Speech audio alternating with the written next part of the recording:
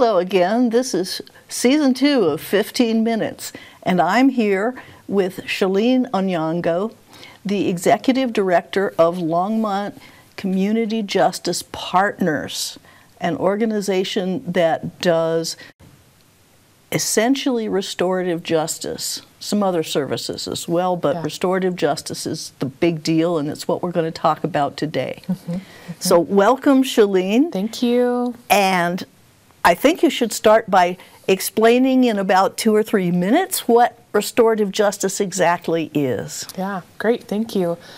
Restorative justice looks different um, in depending on the context of the community.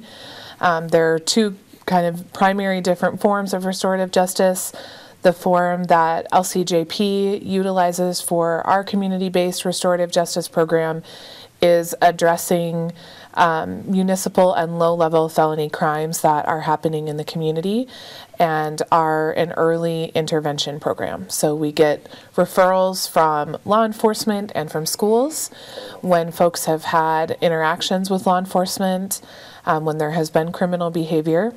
And rather than these people getting ticketed and charged and appearing in court and being given a punitive sentence for their crime, they instead come to our organization and we basically talk it out.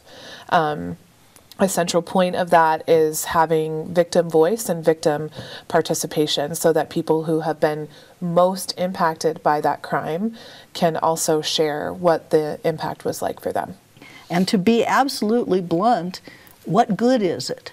In other words, how does it work better than trying people and convicting them and giving them a criminal record and locking them up?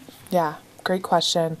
Well, by the numbers, um, there's really no good way to measure recidivism. So, like the number of times that people go in and out of the criminal justice system nationally, it varies pretty widely. But generally, we hear that once people have an interaction with the criminal justice system without restorative justice, there is between a 60 and 80 percent chance that they will reoffend and have another interaction with the criminal justice system and another and another, and it just kind of snowballs and people can get stuck. Um, with LCJP and the services that we offer, our recidivism rate when we look at people who um, we looked at data over the course of a five year period at the municipal, county, and state level, and our recidivism rates were less than 10%. So people who had gone through our restorative justice program had a less than 10% chance that they would reoffend when we looked at things as wide as the state. The caveat being we're not looking at data on a national level.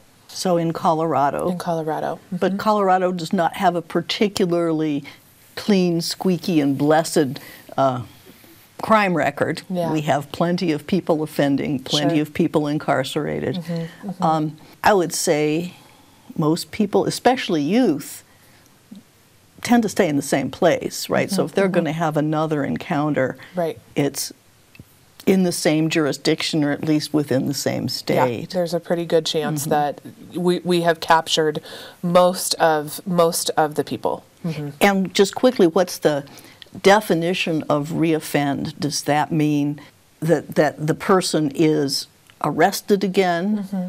Is that is that the count, or is it they get as far as as the criminal justice court, or what does yeah. it mean? For LCJP, that means that they have another interaction with law enforcement that leads to a ticket and or a charge.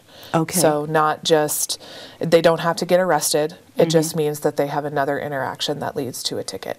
When someone gets a ticket, is is that automatically a um, uh, a record of offense even for a juvenile? Okay. Yes. But with LCJP, there is no everything that we do is within the context of pre-file that's what we mm-hmm. call it so that means there is no ticket issued mm-hmm. and they are referred to our organization and go through the restorative justice process with lcjp and they have a at the end of that um, what we call a conference there's a legally binding contract that talks about how they plan to repair the crime that has been committed and all of the people who participate in that conference weigh in on what they would like that contract to be so that includes members of the community that includes law enforcement who also participate in the conference. That includes the victim and also the person who is responsible. We call them the responsible person or the offender. They all weigh in on what they would like that contract to look like and what those items for repair would be.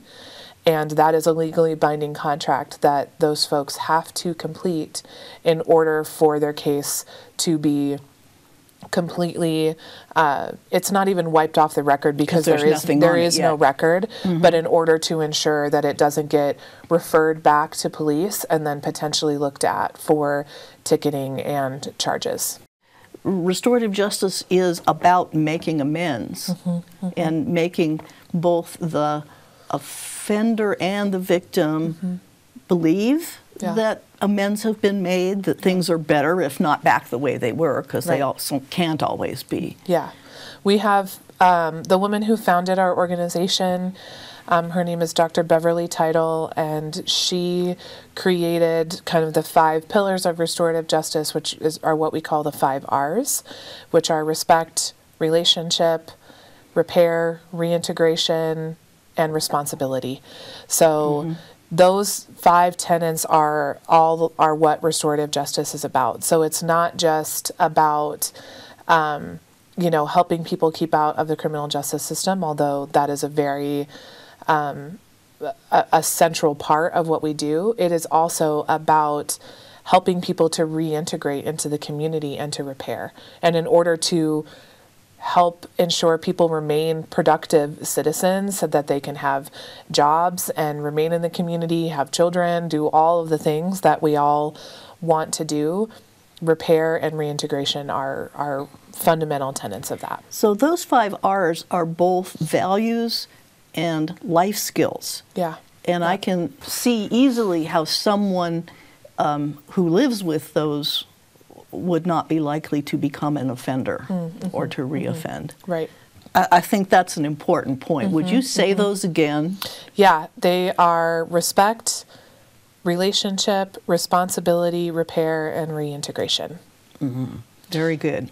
Okay. And so that's a the responsibility being also a fundamental part of what we do and in order for us to be able to kind of vet the success or potential success of the restorative process, we have to be able to, um, on some level, um, un- know and understand that the person who has committed the crime has a um, has an ability to take responsibility and wants to repair. And that that's not always true for everyone. Sometimes people are not interested in taking responsibility. Um, but we also see that as a spectrum and understand that through the restorative process, we can help bring people along in in understanding the impact of, of their crime. And can you um describe, let's say that it's a juvenile and mm-hmm. that it's something that happens to a lot of young people mm-hmm. fighting mm-hmm. at school, um, shoplifting. Mm-hmm. What does the restorative justice process not, you know, what, is it, what does it look like? Yeah, great question.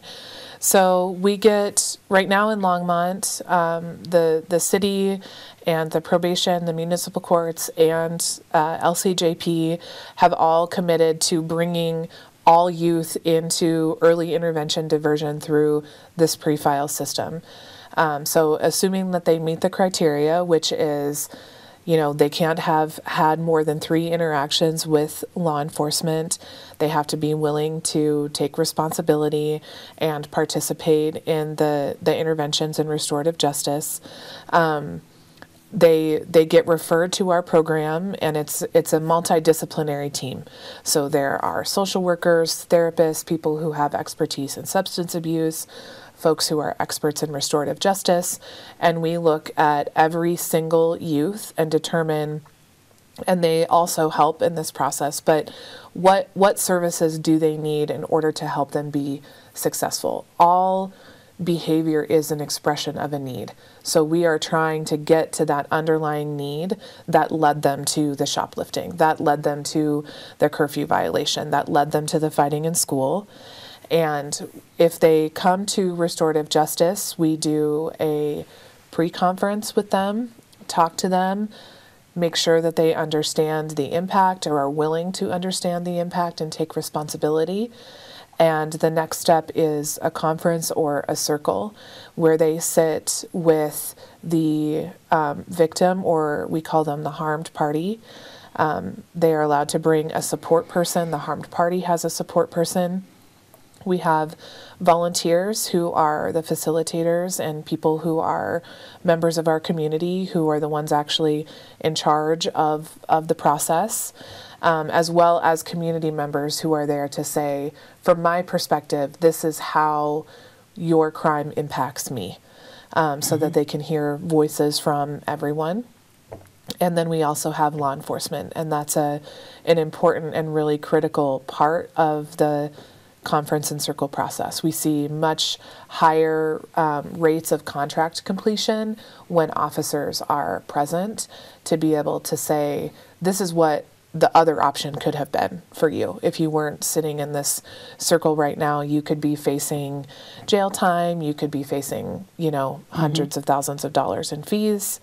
Um, and then at the end, like I said, from there, we create this legally binding contract where we it's strengths based. So we try and look at all of the really positive things about this person in order to kind of unroot them from the shame that can come with um, criminal behavior. And so that contract is based on their strengths in order to help them kind of re- get re in touch with the positive things about them. Okay. And is the circle process, is there one conversation circle or does it happen multiple times over a period of weeks? Yeah, good question. We do the pre conference with just the responsible person and a pre conference with just the harmed person and our facilitators, our volunteer facilitators. And then we all come together in just one in one meeting. That's generally between two and three hours, depending mm-hmm. on um, the severity and, and the needs of everyone and the complexity of, of the cases, which can vary. Right. Mm-hmm. And the follow up might be uh, something as simple as I. I refinish your fence that I spray painted. Correct. Or yeah. it might be yeah. I, you know, I have to do community service or yeah. I work to pay back for things I stole. Yeah. We try and make it meaningfully related to the crime. Mm-hmm. So, yes, if it's something like vandalism, um, can you partner? We have strong partnerships with the city with someone who will help them go around and clean up graffiti around the city. Or perhaps if you were um, putting graffiti on a business, then can you, um, from a positive lens, can you create a piece of art? That shows what you learned from this process. Um, mm-hmm. But it all is intended to be meaningfully related to to the crime. Okay, and then let's go on. Um, to the idea of adult offenders, mm-hmm. because I just recently learned that that restorative justice methods can be applied yeah. Yeah. to adult adult offenders. Yeah. Um, what percentage of your uh, activity is mm-hmm. for non juveniles? Uh, about 30%. And of that 30% that is non juveniles, so, you know, everyone up to 18, mm-hmm. 30, 90% of that 30% is with people between 18 and 25. So it's pretty rare that we have people who are 25 and older, although that does happen sometimes. Mm-hmm. Um, but it is still within that 18 to 25 year old range where people's brains are developing. They are still, um, you know, we treat them ad- as adults, but they're really still young people who are still learning. And that's primarily because the current criteria for being able to participate in a restorative justice conference is this has to be the first time for this offense. So by the time folks get to 25, there's a pretty good likelihood that this is not the first time that they mm-hmm. are having interactions with law enforcement or um, involved in criminal behavior for the specific offense that they are um, being referred to us for. Okay. Are there additional benefits for an adult offender, or does, is the process uh, identical? I would think mm-hmm. that the older the person is, the more able a person is to make amends. Yeah, that's a great question. They are um, they are identical in how it's laid out and how it is conducted, mm-hmm. but we do consider the needs of each individual. So that's sort of why the process can be identical. Is it restorative justice is really about that one person and and uncovering those those needs again that led to this behavior.